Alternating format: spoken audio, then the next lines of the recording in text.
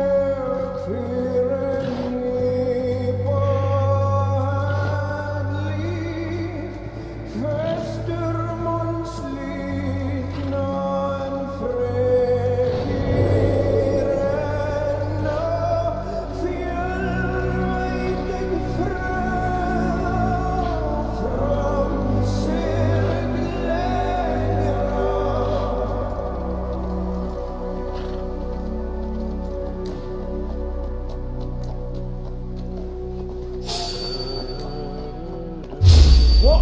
Who are you then?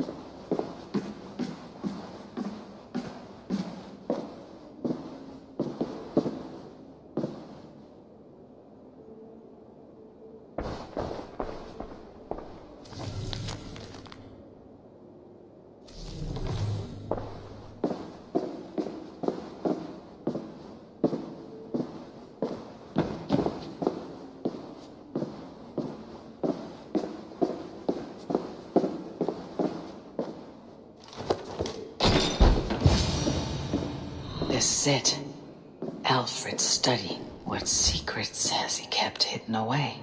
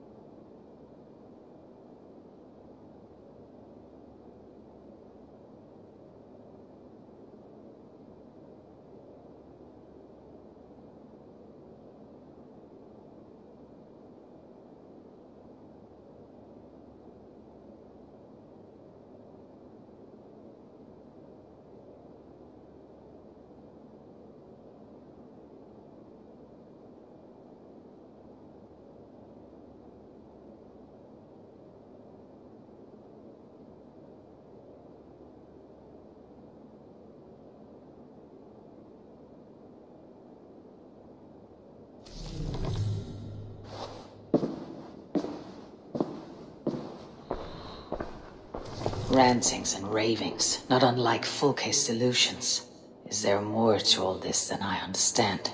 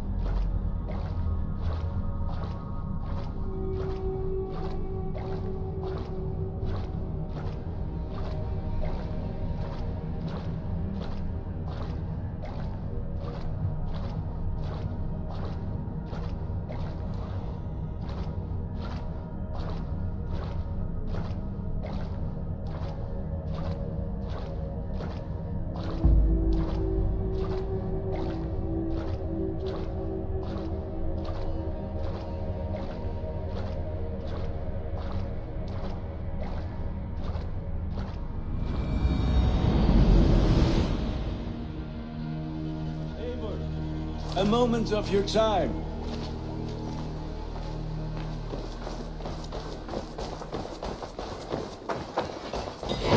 Avon! Beste finger!